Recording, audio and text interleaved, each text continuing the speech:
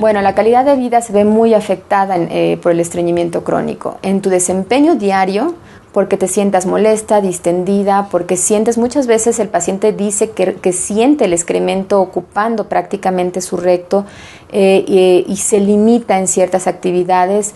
Eh, como realizar deportes o realizar las actividades de vida diaria que te, que te que, realizas.